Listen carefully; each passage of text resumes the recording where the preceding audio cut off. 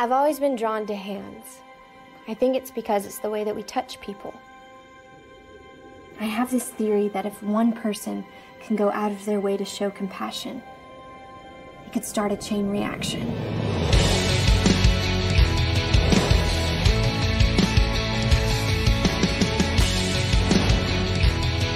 Sometimes I don't understand why having a walk with God is so hard for me. Why do you hang around those guys? They're bullies. Is that what you want to be known for? Later, Lamo. I'm not like my friends. Are you spiritual or something? I just want to live my life for Jesus and care about people. Hey, can I help you? No, Come on, you must need something. I can take care of myself. I'm not so sure. What's up, Four Eye? I thought it was going to be different this year.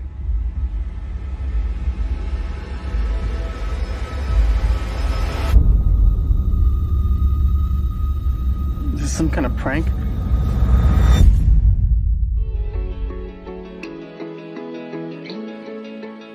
I want to be a light, but it feels so dark. Life's gonna be hard sometimes, but he's there. As hard as that is to grasp, he's in control. Never gonna change what's happening in there. It's just the way the world is. Well, I want to change the world.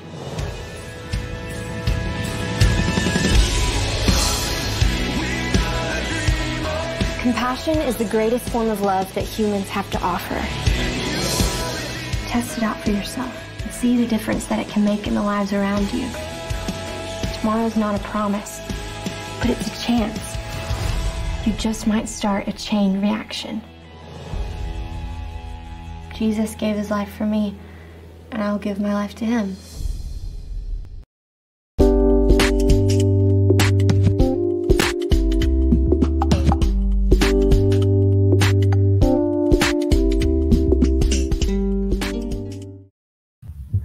Hello, everybody, and welcome to the Maurice Brown Show. Ladies and gentlemen, please welcome to the show an actress who is most known for her role as Rachel Joy Scott in the trailer you just witnessed. I'm not ashamed. She currently plays Ashley Baxter on the new MGM Roma Downey TV series The Baxters, which is set to air at some point this year. And in 2018, she debuted her first album as a singer songwriter called To the Dreamers. And you can also see her in the hit faith based crime series, as you guys all know, my personal favorite, Vindication. On Amazon Prime, Redeem TV, and PureFlix. Ladies and gentlemen, please welcome to the show the very talented Masey McClain. Hello, Masey. How are ya? Oh, really happy to be here. Masey, I'll tell you that that film, I'm not ashamed, is that had to have been a very intense role for you to undertake. I um I, I and I'm not a prophet and I'm not gonna, you know, proclaim myself as one by any stretch of the imagination. However, during that time, I believe it was ni- I want to say it was 1998 or 1997, right in there somewhere. Might have been 99. Do you remember the year when it when Columbine occurred? I think it was Yeah. 97. So I'm right in there, Yeah, yeah. right in there somewhere, the the, the late 90s. But I, I was a Sunday school teacher uh, of uh, middle schoolers, and uh, I was talking about the issues that teenagers are dealing with as followers of Christ. And, and it was at a time when I felt like we were we were seeing a shift in our nation uh, in regards to um, just the element of a Christian nation and, and the difficulties that teenagers were having. And I, I told my class that I said, listen, guys, this was two weeks before Columbine. I said, mm-hmm. listen, guys, you're dealing with a lot of issues socially. I understand and I get it, but you've got to stand up for what you believe in. And you don't have to shove the Bible down anyone's throat. It's all about how you conduct yourselves. Don't fall victim to, you know, the what do you call? I guess the intimidation and the peer pressure and all those different things. I said, what I think is going to happen is some kid is going to end up becoming so offended and so affected by the negativity, some kid is going to lose it one day and walk into school and start attacking people, more or less. I, I said something like that. And uh, sure enough, you know, a couple of weeks later, Columbine happened, mm. which is unfortunate. And then it went on. A string of school shootings occurred after that. Several. It's cooled off quite a bit over the last two or three years. I haven't really heard anything, but for a while, it just kept happening. Um, I, I, I'm wondering, Masey, how was it for you from a spiritual perspective? Because it had to have been a huge challenge to undertake such a role. What was that like for you? Yeah, it definitely was a huge challenge. Um, but I remember just, I had to be so dependent truly upon the Lord to do this role, uh, just because, I mean, in anything, definitely dependence on the Lord. And especially with, you know, playing Rachel, I didn't know Rachel. There was really no video evidence of her. There was no, there wasn't a lot for me to go off of um, with how to portray her. I did have all of her journals. Um, okay. Um, mom actually ended up giving me all of her journals and I would just dive into them every single night. And um, it was, it was definitely intimidating, but I knew the Lord had called me to it and that's just one of my favorite just testaments of being able to play that role was I, I really shouldn't have played it really. I didn't have the resume to play a leading role in a film. And um, it was just uh, the audition process you would you have no idea. It lasted for like a year a little bit longer than a year and constant just knows and knows and knows and then the lord just carved out a path and made it so clear to me that I was supposed to do it. Um, okay but I had to I had to rely on him and and really just to give me what I needed to to do the role. And the Lord surrounded me with just the most incredible director amazing just team around me. And um, it was really neat because after the film came out um, the guy that plays Nate um, his name is Mark in real life and he's still alive. And he said when he watched it he felt like he was watching a memory. He wasn't really watching a movie. He was like it was yeah. so you know, you had her voice, her laugh, and that was just so crazy. And I was just, you know, astounded by that. And that's something only God can do. I, you know, He created. Hundred percent, without a doubt. Yes. So it was just, yeah, it was, it was definitely the most rewarding, probably the most, one of the most rewarding experiences of my life. God handpicked you to do that role. There's no question, you know, and and after getting such a role, it kind of uh, I, I think it, it just catapulted your young career and put you in position to just keep doing things. You have it. We're going to dive into how you got started a, a, little bit later on, but it it's amazing how God picked you out. And I, we were talking about vindication, and we're going to get into that a little bit later too. But I was watching your episode that you're in, and that was one of my favorite episodes, episode two, and it kind of just grew on me just be, because of the spirituality of it. I mean, mm-hmm. Vindication is a straight spiritual show, but it it just keeps things so edgy and real. It it attracts viewers and it takes away that hokey, cheesy aspect. But um, mm-hmm. no, you've got it, Macy. I, I love the way that you portray uh, your character as one that's you know really trying their best to follow Christ. A lot of teenagers are are struggling with that. But now I'm going to dive in, into that a little bit later. What I want to ask you now is what are you doing to supplement? Because this pandemic's got us all yeah. kind of crazy right now, especially as entertainers. You know, I'm right. a comedian and I can't do my stand up anymore. You know, I'm doing a few Zoom shows here and there. Wow. Uh, this thing has just been really, really crazy. I mean, 2020's. What have you been doing to supplement the inability to proceed as as normal? You know, it's crazy. I haven't worked in the sense of what I'm normally doing. Normally, I'm I'm usually like in LA at least, you know, four months of the four to five months of working, um, yeah. set and filming and acting and all this kind of stuff. All that was cut out. Um, but it's really cool. Before the pandemic stuff started, I remember at the beginning of the year, I always try to, I, I just love all that can happen in a year. Like I, at the end of the year, I love looking back and seeing like all that Lord's done it just blows my mind.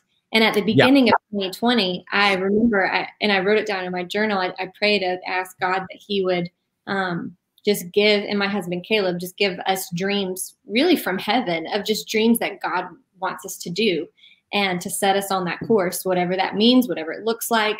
um, but give us ideas and creativity and um, whatever we're supposed to put our hands to. Give us that this year. And Yes. what came out of that, I hate when people say this, but I'm going to be the one that say, says it. I've been working nonstop on a couple of projects um, that I am so beyond excited about that never would have Wow. happened if Yeah. quarantine in their home. Yeah. Um, but it has to do more of um, on the creating side. Um, and that's a that's a part of the entertainment world I haven't really dove into, and I was able to um, when I wasn't acting. So um, I'm in a lot of meetings and works and stuff with that, and I can't. I'm, I've signed deals where I can't say anything. So normally I would, but it's it's been really cool to see what God has birthed out of something that had to kind of die for a little bit.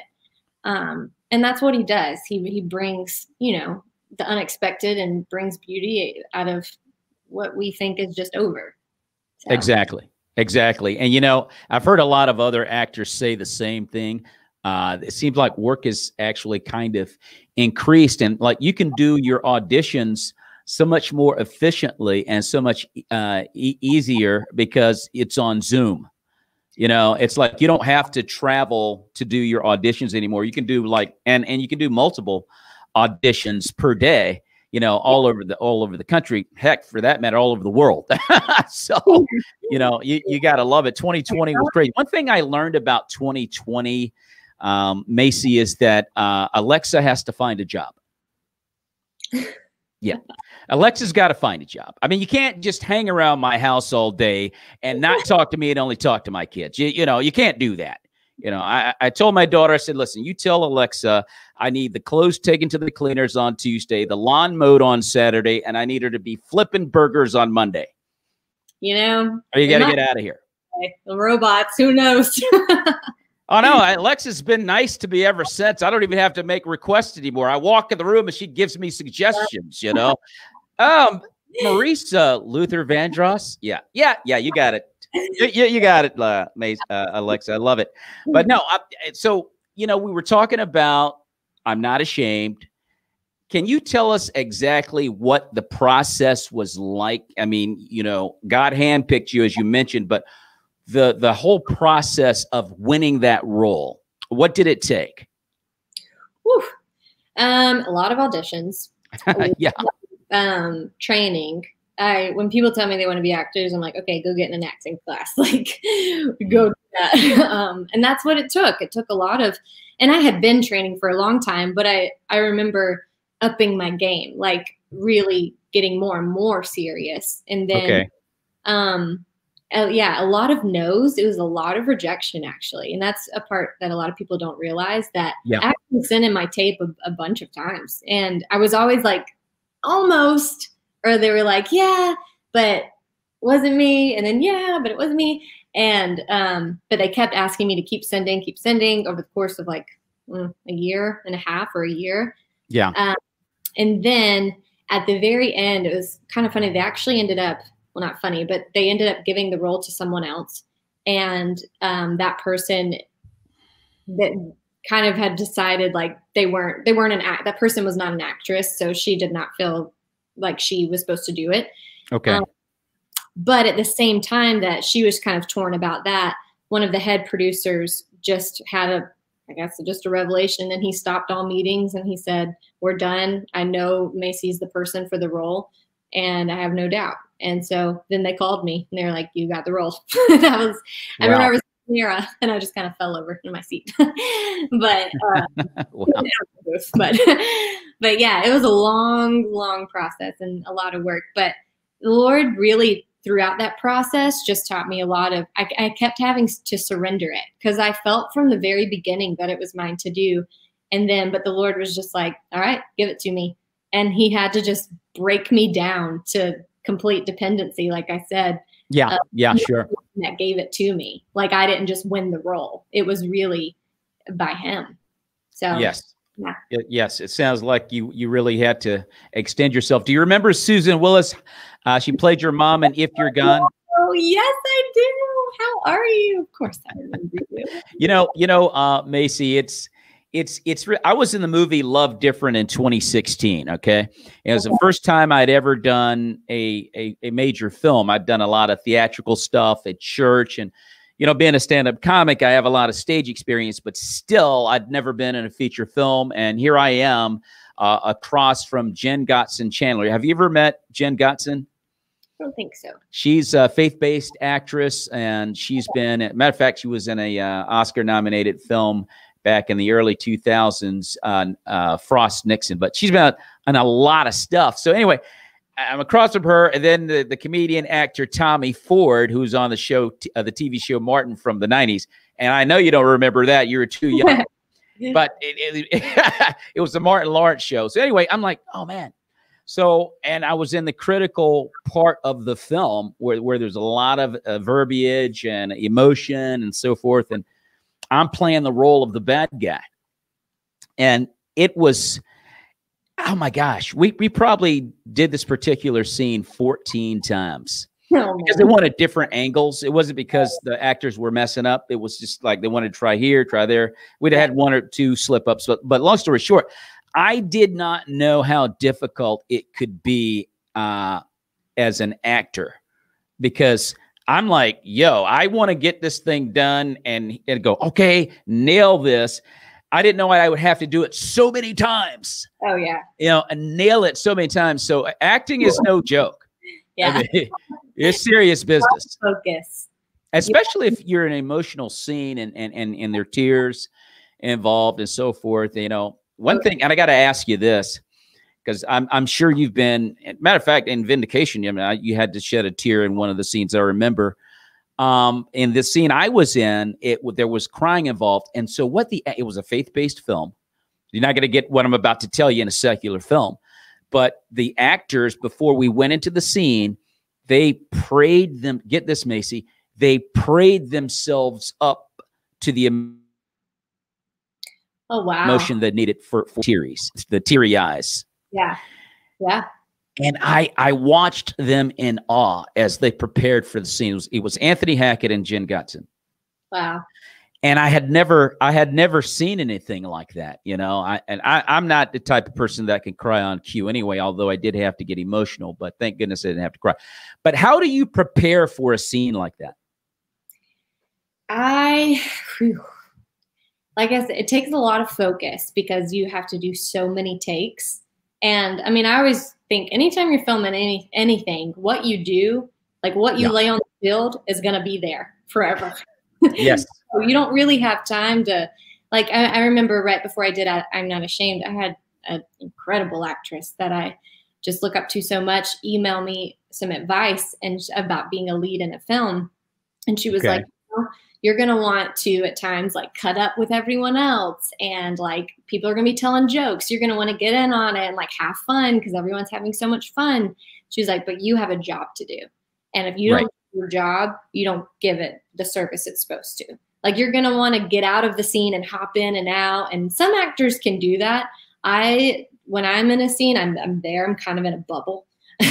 especially in, especially emotional scenes. The fun ones, I, I like to. It helps me or whatever. But the emotional ones, I mean, I have to tell people. I have to tell the makeup team. I'm like, I promise I'm okay, but like I might be crying while you're doing my makeup in the chair because I'm getting in it, kind of a You're- thing. yeah, yeah, you're getting there, right? I'm getting it. And you know, the the director Brian Baugh of I'm Not Ashamed, he was like I said, he's incredible. Like I, it's my dream to work with him again one day. Yeah. and and we've become great friends. And he would just always, I you know, you think the crying scenes are monsters in your head. You're like, okay, this is a big scene. Like I gotta nail it. I gotta cry. Yeah. And he would always just be like, it's not a big deal. Like it's another day. Whatever. Let's see what happens. He always just de-escalated it. And so Gotta it love it. I love it. Space to like go explore and like see where I could go. But I didn't, he never put any pressure or anything like that. So um yeah. But staying in the zone is key for me. You'll see me on set with headphones in before a scene like that. Yeah. And just you would you would think somebody died, honestly. Like I have directors I haven't worked with before have come up to me and they're like, Are you okay? Like, are you gonna be okay? And I was like, I am totally fine. I'm in a bubble, but I will come out of this bubble as soon as the scene's done. Yes. So that's yes, that's uh, awesome. Well, that's you know, de-escalating the the pressure before doing a scene is great coaching advice. Yeah. You know, uh, and, and and it's the same thing. You know, when you're doing comedy, it's like, look, this is this is just a bunch of jokes, and you're going up there to have a good time. Just go let it rip. Don't don't overthink it. Just do your Yeah. thing. Um, and so, I, I, but when I watched Jen and uh, Anthony do that, and, and and see, you don't get that kind of stuff in a secular film.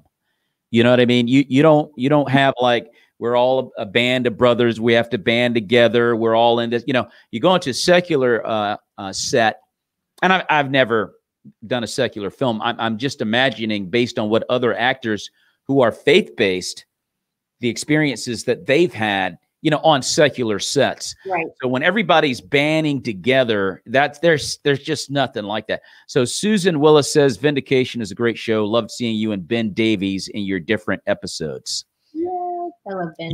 You and Ben were in I'm Not Ashamed together, correct? Yes. He played Nate. Okay.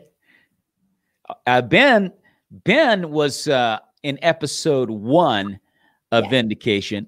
Mhm. and and Susan, you're you, that was a great you know uh, segue into my next question for Macy a- in regards to the film or the crime series Vindication. It's a Christian project. You can see it on PureFlix, ladies and gentlemen. If you've never seen it, I highly advise you to get a subscription to PureFlix now. If you don't, and go straight to Vindication. In my opinion, there's nothing like this particular show in Christendom in that it gives you a real life feel for issues we all deal with.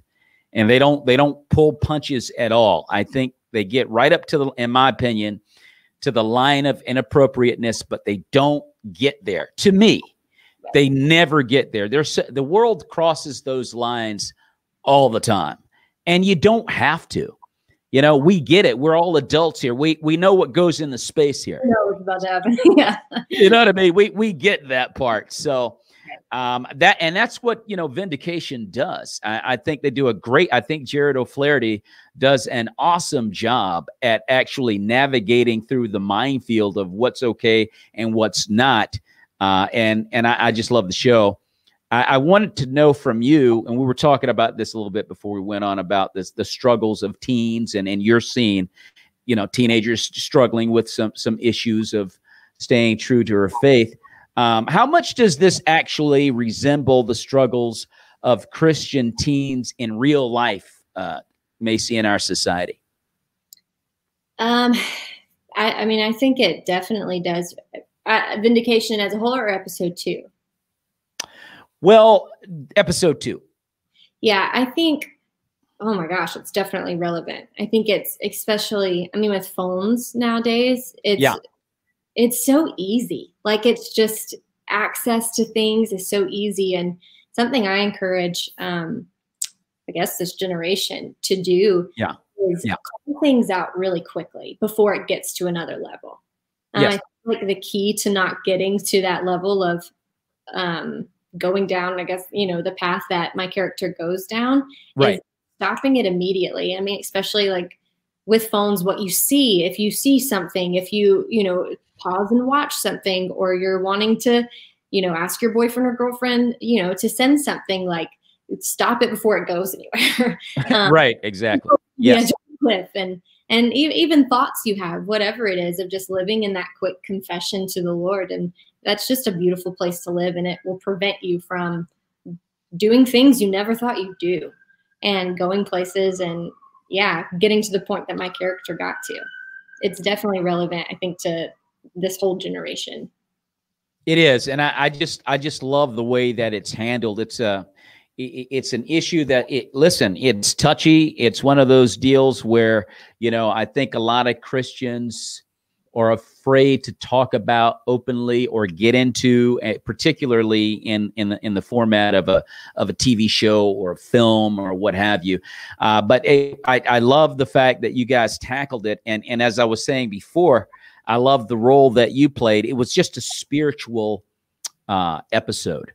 It, it was it was so spiritual to me, and and it looked like, and I'm not going to give anything away, but I do want to say it looked like it. You know, your character had even in the ups and downs of your character, still was an effective witness for the boyfriend. Yeah. It was still an effective witness. Right. And Right. that is what I love because you were going, and I, it's hard not to give away too much. I but I, I, I, I just loved it. I could go on and on and on just about that one episode. I mean, I, I mean, I, I, I love the entire show. I mean, every episode is like almost gives me like a wow at the end. But episode five and two, I mean, I just you know just verbally just shouted out like, "Oh my gosh, that was awesome! That was awesome!" I mean, I ain't, I'm not I'm not lying to you, Masey. I ain't gonna lie. It was awesome. Episode two really was, and I and I was telling you before we came on because I probably. All right, full disclosure, I probably watched Vindication like 15 times. and so when I'm watching when I'm watching like uh episode 2, it it it kind of grew on me. You know what I mean? It was like it, it kind of grew because what what it does it, it gives you the idea that this is um an issue that you know a couple of teens are going through. Like I'm 56. So I'm looking at it. Well, this, you know, this is something, you know, that teens are, I have, you know, young adult children and a, you know, a late teenager. So, I mean, I, I, I can relate. And, but as it, as I continue to watch it, I saw the spirituality in it. I- I saw the power of the spirituality of that episode. yeah. And it, it just, it just nailed me it, Mm. it just nailed me and so uh and i and i'm gonna i'm gonna stop because i don't want to give too, it, too much more information for those but i hope i have whetted your appetite for you viewers that are, are watching this go watch it if, if you've never seen vindication go watch it you know you can watch it on redeem tv if you don't have pure flix or amazon prime Mhm. um, and matter of fact, you can watch it on Redeem TV for free. So please check it out. It's it's one one of those things. Susan Willis says, "I love it as well. It doesn't cross the lines, and it lets the audience finish the sentence on their own." That see, that's really the key right there. It's like we are all adults. We but Hollywood, Masey, as you well know, they love to blur the lines they love it you know and and, and, uh, and it's all about entertainment and and and dollars and Yeah. and people get into the eye candy stuff and so forth but it's not needed and and if you could get people to look at the meat of the issue the core of the problem see secular viewers who look at a christian program and let's be 100 here masey most christian films and projects make the secular viewer go Ah, that's cheesy. Uh, that's that's hokey. Uh, that's that's too perfect. I, I I think the in general, but you don't get that uh, at all with Right. vindication. It is it is distinctly different. Now, Candace Kirkpatrick says one of my favorite episodes as a mom of three teens. Extremely well done, and it is well done. It is well. I'm sorry, Masey. I, I went on and on and on. I, I kind of went into a, a vindication. Uh, yeah, yeah. I just went a little nuts. Anyway, but anyway, uh, I, I, I really, I really love. That. Well, I would love to get your opinion of of vindication and the effect it has on secular viewers. You know, I, I mean, I think, I think it addresses something that you really wouldn't see anywhere else. Like, I don't, you wouldn't see on Netflix or, you know, or you wouldn't see, um, I don't know, on a cable show. Like, you wouldn't see this issue talked about really. Right. Um, and, I, and I think it's something that isn't talked about and it's just kind of glossed over as, oh, that's not a big deal. And it is a big deal Yes. the character goes through. And I, I think, I think, I mean, really, I think it's so, I think Vindication, Jared did such an awesome job of it being so real and not hokey and cheesy that I think it would hit anyone that watches it of, oh my gosh, like I did that and I felt that shame. Like, what, do, what does that mean? And oh my gosh, wow, she forgave him. Or Yeah. like, you know, like how did she recover from that? Like, I mean, I think anyone watching, I don't think Vindication is just made for a Christian audience. I think it's, I think it would reach anyone really. It would, and awesome job of that for sure. And it should be, quite frankly and honestly, Masey. It should be for everybody. You know, we we get into this zone where you know the four walls of the church thing. You yeah. know, and, and we're we're having a hunky dory kumbaya time, and that's all good. yeah. That's all good, right? However, what's the Great Commission? We're yeah. we, we're we're supposed to be out there mm-hmm. in a lost and dying world, being a light for Christ, and so that means I can tell you as a comedian I'll I'll, I'll go anywhere and do comedy. I, I will go to a lot of places. I'm the only clean guy on on the stage, you know, and they're they're just having a, a rip doing what they do, but they take notice of fact, well, wow, I mean, you know, Maurice has got no problem being here with us. You know, he's doing his thing. He's kind of like in the middle of this stuff with us, but I'm never, you know, abandoning what I stand for. Yes. You know, and that's what you have to be willing to do and vindication is an example of that. And I, just to piggyback on what you said about, you know, it's not just for a Christian audience; it, it's for everybody. Yeah.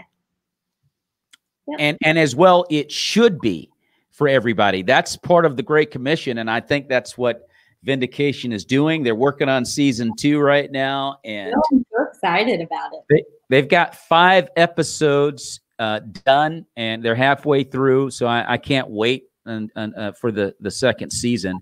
I know you are doing a whole so many different things right now. I know you're working on a show um, right now called The Baxters. Can you give us a little background on that? So it's based off of Karen Kingsbury's uh, series, The Baxters. And okay. funny, I used to read Karen Kingsbury all the time. I mean, I still do, but I mean, like, I, that's when I, I, started in high school. Okay. And um, the series that it's based on, I it's called The Baxters, and I read in high school, and I would get so attached to these characters. I mean, I would. I, I would accidentally pray for them. Like I was so attached. And then I was like, oh my gosh, they're not real. like, right. Um, and then it's so cool. Years later, I, um, you know, years and years, I mean, 10 years later, um, I, see, I hear that they're making a show about based on the series, and I called my manager and I was like, I have to audition for this. You don't understand, like the series, and he was yeah. like, and so I ended up auditioning and getting the role of my favorite character. Wow, um, awesome. Which awesome. was so. I just felt like it was just so kind of God, just to the timing of the series being made, and I was in LA when they were casting it, and yeah. It, all lined up and it's been just one of my favorite projects ever and um i'm i just i can't wait for the world to see it but yeah now you you say the Baxters has got more of a, a, similar feel to to Vindication in the fact that it's more gritty, it's more real life type stuff that most people deal with. Very much so. Yeah. Yeah um, the roller coaster of everything you can imagine. So, well, let me let me with that question. Let me ask you this: Do you think shows like that uh, can can maybe because you don't see a lot of it, Masey? That's why I'm going to ask you what I'm about to ask you. You just you really don't, which is one of the reasons why I'm struck with uh, Vindication. But do you think this can point the way to a more effective way in producing faith based content? I do. Um, and I think, I, I mean, you look at what the Erwin brothers have done. You look yeah. at I Believe. You look at I Can Only Imagine, and what you know, so many filmmakers are doing right now, and the bar has been raised of the level of excellence. You know, Vindication is in that realm of just like you watch it and you're not like, ugh, okay, you know what I mean? Like, absolutely, it, absolutely, yes, very well. And um, I, I mean, I think that's the new. You can't go back from that kind of a thing. So it only yeah. you know what I mean? It's only going to increase, and, and, we should be doing excellent things. And um, you know, the most creativity. I mean, guys, I just always think, you know, God's the creator, but He also created us to create. Like that is the coolest thing ever to me. Um, that we yeah. have that ability because we're made in His image. So yeah, I, I definitely think that there's just going to be more of that. I, th- I, I truly do.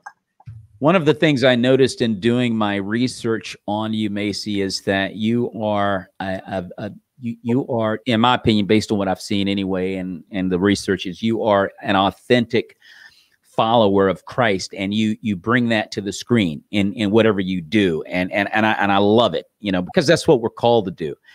How does more specifically your your faith influence you as a performer? I mean, it influences everything. Um, I mean, I just always think at the end of the day, it's like I was created to glorify God, and yeah.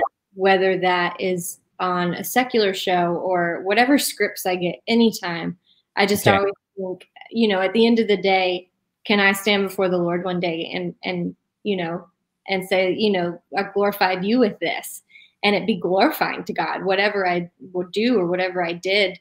Um, and that's just always my hope and my prayer. of Just you know, God, if this is what you want me to do too, if this is the avenue you want me to glorify you in, um, then He's going to move mountains for me to do whatever He's called me to. And that's something I always find comfort in because in acting, you're told no most of the time. And it is just, I mean, a dog eat dog world out there. so yeah, it is. Los Angeles. It's, it's, I mean, it is, it's insane. But it's just been so cool looking back on my career. I can confidently say that the Lord has just totally made a way for everything he's called me to do. And so I kind of look at it as in like, okay, this is my assignment now. Whatever mm-hmm. Get. And I'm like, okay, God, whether it's, you know, how to glorify you through this role or on the set, whoever I'm talking to, um, whatever conversations come up in those realms, whatever it is. Um, yeah, I just always pray that he's glorified and gives me discernment and wisdom in on that whole process. Now, Masey, how did you come to salvation in Christ? What led you there? I was seven years old. Okay. Revival service. And I remember I was at the revival service and the Lord just got a hold of my heart and it all just clicked. Like I just, I remember wow. telling my dad, um, like I just understood it all. I was listening to the pastor and um, I just told him I wanted, I want to ask Jesus into my heart. And he took me outside and, and I did. And he walked me through. My dad's a pastor too, and he walked me through it. Oh, awesome. And um, I mean, it's so funny. My parents say, I mean, I remember as a child, I was just very bent on doing wrong, like all the time. I was a really terrible child. and my parents say, my dad still says to this day, he's like, I have never seen a seven year old go from night and day, like just a totally different person. Wow. Right as she's come in your life. And it was just so funny that the Lord, I'm so thankful he got a hold of me at such an early age because yeah. I think I was really headed just to do my own way. And, but yeah, seven years old. There, there's something about you know the word of God hitting a, a child if because it, it, it's I don't I don't know that it happens that often. I have a comedian friend by the name of Brian Trimble I don't know if you've ever heard of Brian, but his dad is also a pastor. And he said, I never had a chance to dip my hand in other cookie jars. So, yeah, I, have been a believer since I was a little kid. But, you know, you don't, you, you, you don't really hear a lot of kids being affected. But I tell you right now, when it does happen, it, it, it it's legit, legit. Yeah. You know, it doesn't yeah. go away. I mean, when, when, when a, when a child's heart is touched by God, it it's that's a wrap. Yeah. that's that's pretty much a wrap. Um, I want to ask you something that I asked Jared. I'd love to get your response. I asked him, I said, so uh, faith-based programming right now is you got it, you got a lot of uh, secular viewers that still have this idea about uh, Christian films. But I'd like to ask you because you mentioned a film that that by the Erwin brothers, uh, I still believe, which is really well done. The Kendrick brothers uh, did uh, Overcomer, really well done, and all the both those guys they they did great stuff anyway. But do you think that Christian films are starting to attract more secular viewers? I do, um, okay. definitely do. Um, I think that's because the the level of excellence that it's become. Um, I think if you put content in, in front of people that, that, it strikes a chord in their heart, like if they watch the trailer and they're like, oh, like that. I mean, because you know, God's put eternity in the hearts of men. Like everyone has that Yes. soul, you know, that longing for something more. And I think when you, in a film way, when you combine that, um, something heartfelt and genuine and authentic and real, um, that has to do with what the Lord's done with excellence. I mean, I think it's, I think it definitely it, attracts people because they're curious and it's like, huh, I wonder what that's about, or maybe it strikes a chord with them. And I, I definitely think it it will reach more, and it, it is for sure. I, I definitely think there's this intrigue that the secular world has with faith-based films. Like they're not all in yet, but they're starting to kind of become interested. And when when the work's well done, like um, I still believe, you know, that's probably it probably put seven, eight million dollars in that film. It looks like it's a hundred million dollars. I mean, the Erwin brothers did that well in putting it together. You know, me and my middle son. Yeah. Yes, it. We were watching it and we were like, "Hey, man, this this film is absolutely amazing." I mean, uh, the cinematography and and Everything. it's such a powerful film. The the uh, you know about Jeremy Camp's experience. Yeah. Um, awesome. So, but with that being said, now you're getting vindication type projects. You're getting the Baxters. I can't wait to see the Baxters. The Baxters type projects where now it's becoming a little bit more meaty. It's becoming a little bit more substantive and and and hard hitting. And and now it's kind of hitting the the neighborhood of where a lot of people are living. Yeah. Which you you know you don't typically get. And so I I, I I'm with you. Um, I think we're going to a better place. I think that we're faith-based films are starting now to make a move that's going to attract a, attract a lot of secular viewers. Again, Great Commission. Hey, that's what Christ called us to do, and we're just becoming more refined at what we do, and Yeah. and making ourselves more appealing and and attractive. Um, back to acting and the craft itself, uh, Masey, what is it about acting that has actually made you over the years, your experiences, you've done this, you've done that, you have you didn't make this audition and you made that when you had to go through all these different things to get to this uh, role or what have you. After all of those things, what is it about that experience that has actually made you a better actress? Um, I think out of the whole man, there's so many things really. I could say. Yeah. But I think it makes you also not not look so much at yourself. Like it, you know, you can be so caught up in did I do that perfectly and was I this and I this, Right. you know, why didn't I get that part? And it's you come to a point where you're just, you're just kind of like, yes, of course I care about the roles I auditioned for, but the less you focus on yourself, the better work you do and the better auditions you do. And Yes. truly, one of my favorite things about acting is it really is so selfless. Like you have to give so much. the, more, the less you're focused on me and the more you're focused on, okay, I want to give all that I can to this. And you know what? Whatever happens, happens kind of a thing. Yeah. Then so much more freeing and it's so much more enjoyable and it's fun. And the work that comes out of that is just it's it's totally different than just being me, me, me, and I didn't do this and I'm doing this and it's all about me on set. You know, like that's just there is no life in that. Like that is that's not the way to do it. So um, yeah.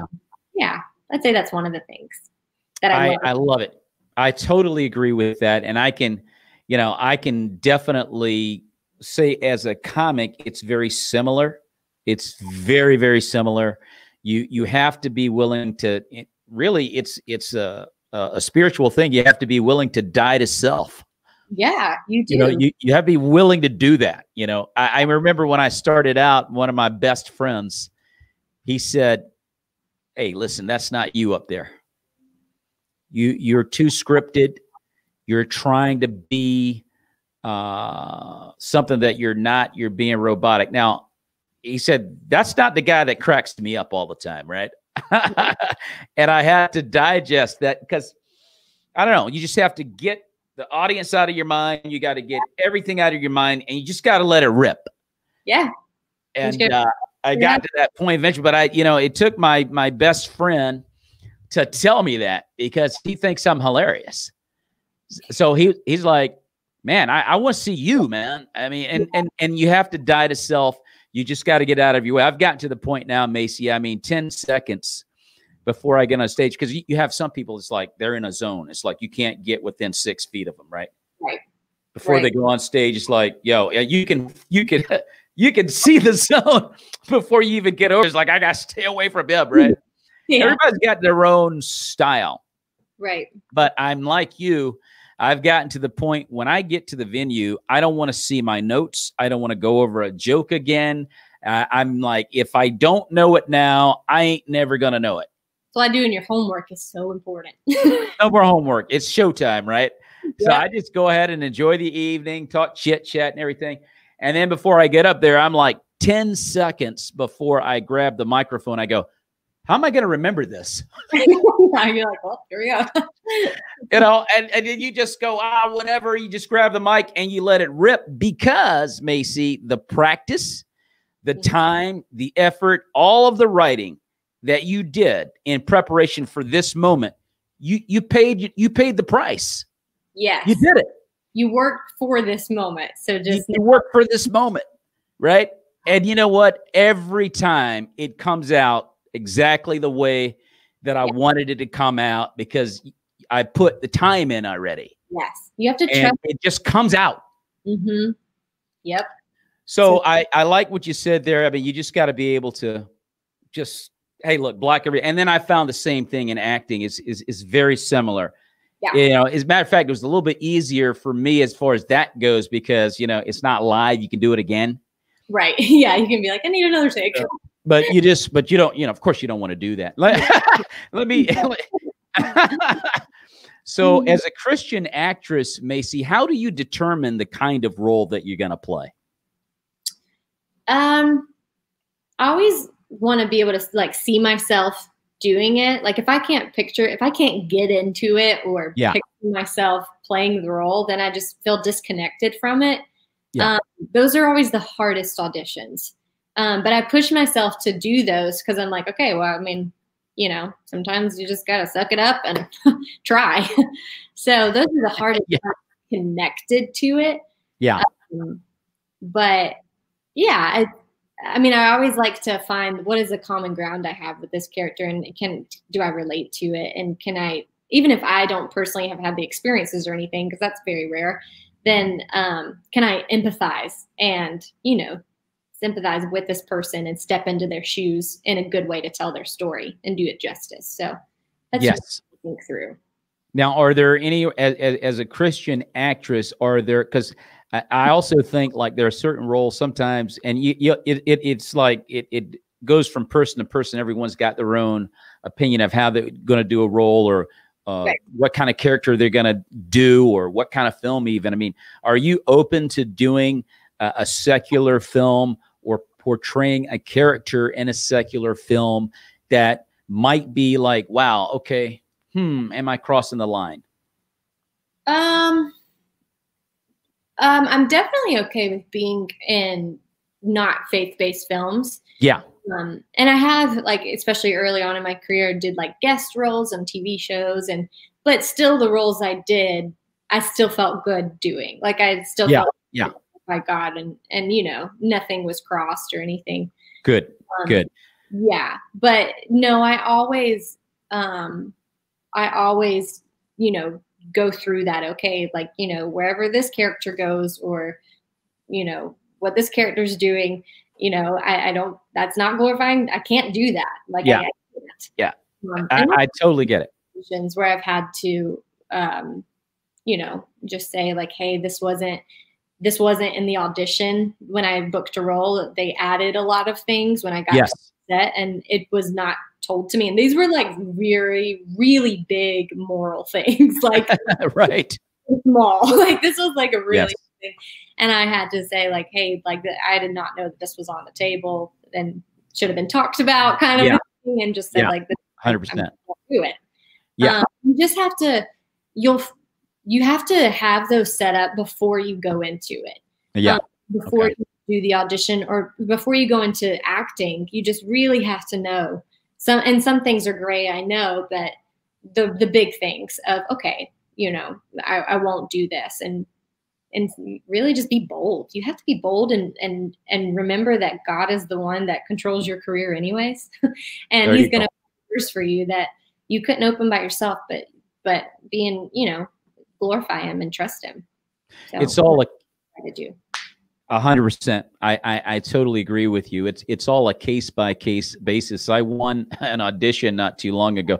Is it, it, it, the, the the darn thing can be dicey. I won uh, a role and a respectable role. Um, I'm doing a speech at a banquet, you know, mayor, mayoral type deal. Okay, it's all good. But what happened was we got the script, and my wife and I we went straight to my parts. We didn't read the script. We got- let's, let's go and find your part, right? So um, I go to the table read, Masey, Oh, and I'm hearing things. Well, there were two scenes, okay, in the film that were practically pornographic, and I'm I'm like mortified by what I'm hearing. I'm like, oh my gosh, what have I done? And I, I had to sign to be a part of the film. So I, I'm like, what in the world is going on right now? How did I get here? And so God, you know, yeah. so, Right. oh, Reading the whole but God- what, Uh, what's that, Masey? especially if you don't get the whole script sometimes like you do Yeah. an audition and you don't know what Yeah. you know it's like okay well mm, and and God stopped the project. It, it- you know, it just and it got, God literally, you know, took me by the nape of my neck and pulled me out of there. And, I went, but it, it's you know, and I and I and I say that to to say this as far as okay, what kind of role are you gonna take? And for any you know young aspiring actors out there, you know, there's so many things you have to determine before you take a role. I mean, not all roles are are necessarily bad, even though it may not be a faith-based film. It may be, you know, a relatable issue that everybody deals with. They're just not talking about Christ. However, in the way that you perform can make a lot of difference in who sees it. Yeah. And um and also read the script. what's signing up for yeah. yeah, yeah. No, note to self read the script. Everyone's um you know some like you said case by case some Yeah. people don't feel convicted about certain things but and you know certain things to me are black and white and then there's certain areas where it's like okay i wouldn't do that but okay you know i feel personally convicted Yeah. kind of thing where I'm like, if I ever have a check or just like, you know, feel the Holy Spirit saying, "Hey, this is not not it," then I'm just like, okay, Exactly. Exactly. Yeah. That's that's where it comes. You get that check in your spirit. Yeah. So uh Fly Rock Media, the only person that's seen vindication more than Maurice is Marty McClain. loves vindication. Is that right? He's a big fan. Mhm. Wow. I Love- love it. Now is that your dad or your your husband? That's your dad. Yeah. Yeah. Yeah. Yeah. Um wow, that's really cool. That's really cool. Um Yeah, it, it- but you know, but seriously, yeah, that's what it comes down to though. It's that check in your spirit. God will let you know. Yeah. And and even when you, you know, don't, you know, check all the boxes, sometimes God will just rescue you and you know, you, it- it's all good. You, you he will not allow you to have to go through something because you never intended to be a misrepresentation. Sometimes you just miss things that, you know, was right there in front of you and you just you didn't pay attention. And that can happen. Yeah. And when you're constantly having to, to discern, like if you're getting, you know, seven auditions a week or something, you're constantly like going through and you can get tired. Like you can get tired of reading the whole scripts of everything. You really, and I think also it's important just having people around you that um, can, you know, if, if I'm ever like questioning something, I'll, you know, I might go to my mom or I might go to, well, I'll definitely go to my husband and be like, what do you think about this? Or like, how would, would this misrepresent you know like having those conversations with people that you know are you know love the lord so much and will tell you the truth kind of. Exactly. Exactly. And that's that's what you need. You need someone that's going to tell you the honest truth. Yeah. Um, and that's the only way you're going to. Now, before we get out of here, this has been a great conversation, by the way, Masey. Thanks for being on the show. Um, you you're also a singer, and you have a debut album that you released, I think, in 2018 to the Dreamers. Tell us a little bit about that album and how fans can get a copy. Yeah, so I've music has always been a part of my life, and I mean, I was doing music, writing music before I was acting, and Okay. um, in high school, I would just you know go in my room, write and write and write, and then I've just always written. Um, I have my guitar, I play guitar, and in 20, I guess 17 or 18, I just was like, you know, I'm just gonna put out an EP. Like I, I don't want to look back and not Wow. have what I, you know, a dream that I really feel like I, I'm passionate about. And Okay. so I out to the Dreamers, and it's not a, um, I I wouldn't say it's a faith album at all, like a Christian album. It's not a Christian album. Yeah. Um, but I don't separate that. You know what I mean? Like to me, Right. it's like I, I write about my life and almost like a journal opening. But Yeah. what the Lord has done and who, you know, just his presence with me, like I just feel like that's in everything. And I mean, there's a verse that says, like, to the righteous, all things are righteous. And it's just like, you know, God, here's what I've written. I want it to glorify you, like even if whatever it is. And that's kind of um, my heart when I put out the album of um, was just something I love to do, was passionate about. And um, the songs, I, I didn't know what would happen with them, but uh, the show, The Baxters, actually, um, my music has been able to intertwine with Okay. the Baxters. So that oh, was wow, nice. cool. So um, people will get to see that when it comes out. But um, and then I'm continuing to write now, and um, definitely plans with music. Inter- I, I, I think I always see my music intertwining with acting, and there's a lot of plans for that in the future that I'm very excited about. But To the Dreamers is on all music platforms, and I would love if you guys checked it out. Soul Touch of the Poet says, I'll have to check out Vindication. Soul Touch of the Poet, you got to get it, man. You Got got to check it out. I mean, there's no question about it. Um, that's a, a friend of mine. He does poetry like at open mics. He's a he's a he's a very good uh, poet.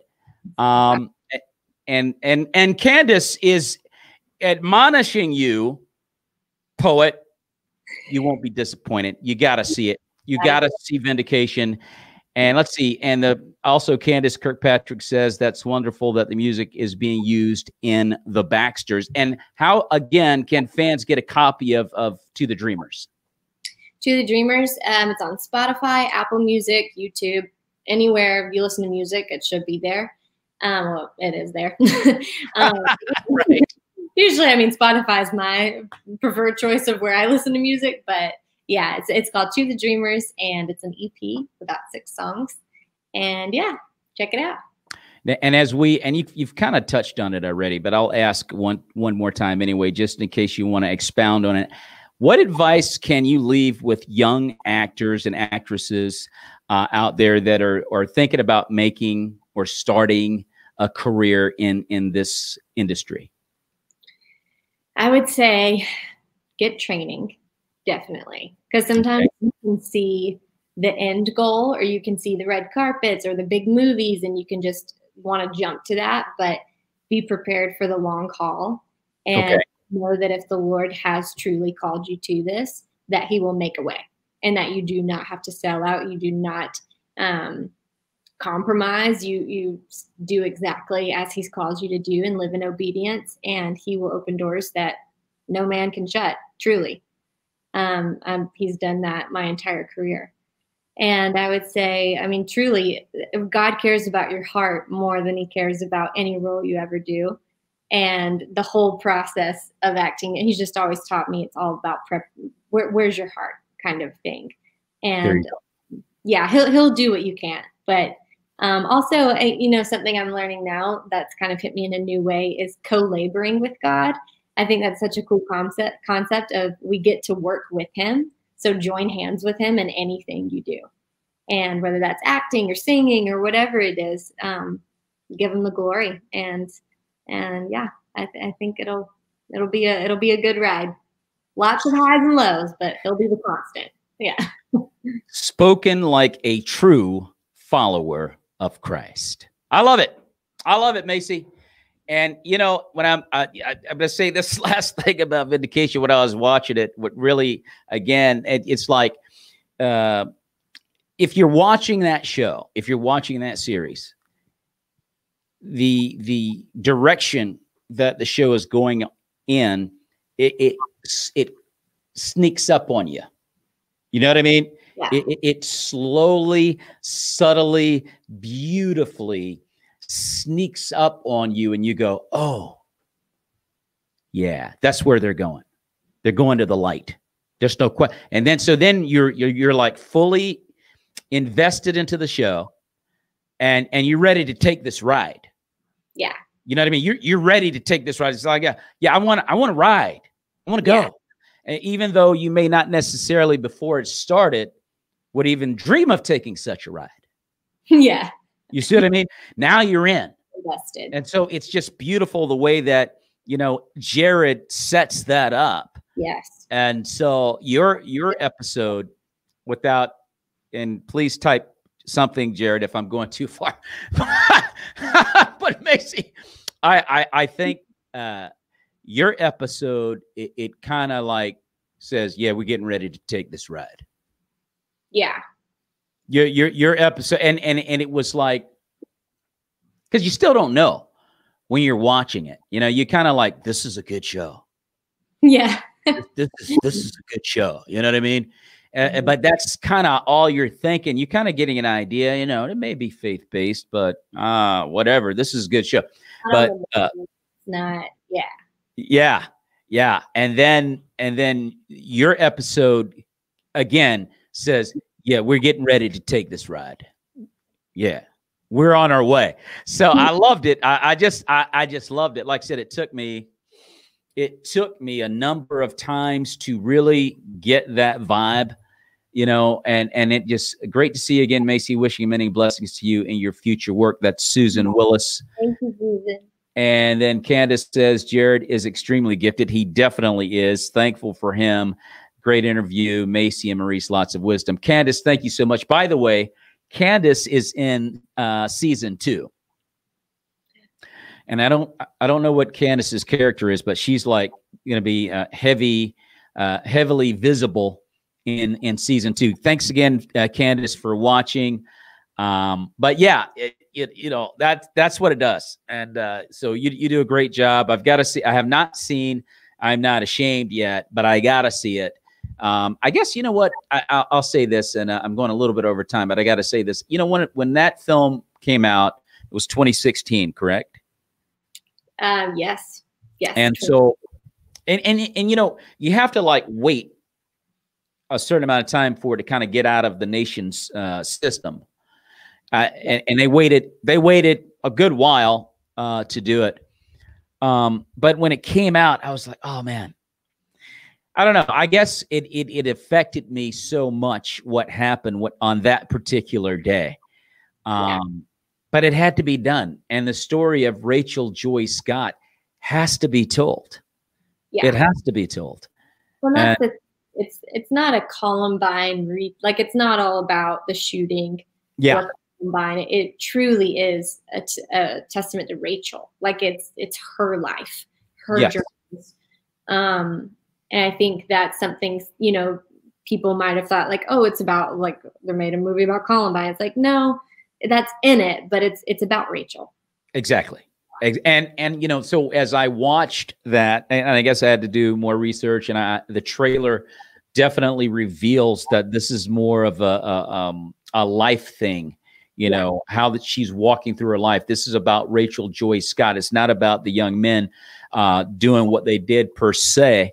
Although what they did is a consequence of what teenagers are experiencing ad infinitum in 2020, and that's peer pressure.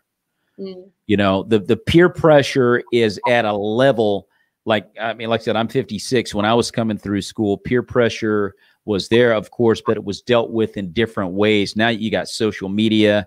I mean, you can read about yourself on all these different media platforms. The bullying, I mean, Yeah. you know, it's it's a different level of Yeah. pressure that you know we didn't experience back then, and and I and I think that it's affecting a lot of young people in in a big time way. So, but again, it wasn't about those young men as much. It was about the life of Rachel Joy Scott, and I want to see it. And I think you you did a tremendous job. I've heard nothing but good things about I'm Not Ashamed. Ladies and gentlemen, please check it out if you've never seen uh, this film uh, with Masey McClain, which focuses on the Columbine incident in 19, I believe it was 1997, came out in 2016. That can be seen on Amazon Prime. Is that correct, Masey? Mm-hmm. Amazon Prime, iTunes, um, it's in Walmart, Target. Um, probably easiest though with Amazon. And before we get out of here, Masey, how can fans follow you on social media or by website? Um, I am on Instagram and Facebook. It's at Masey McClain, M A S E Y M C L A I N. Okay. And um, uh, my website is maseymcclainofficial.com. So, yeah. Awesome stuff. Masey, thank you so much for being on the show. I think you are a tremendous young actress and a great example of Jesus Christ and what he wants us to do in this industry. Please keep doing what you're doing and may the peace of Christ be with you and your family. Oh, thank you so much, Maurice. This was great.